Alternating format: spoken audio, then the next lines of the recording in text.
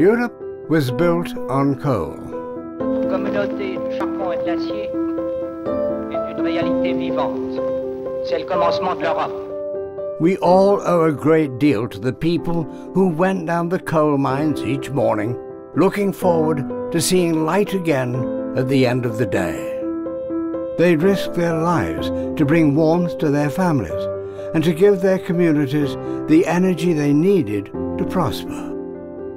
Coal may have run its course, but that energy and skill is needed now more than ever.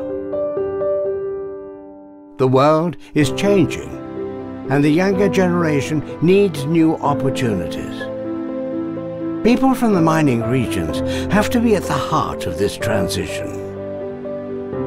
We all stand together to build a brighter future from this heritage.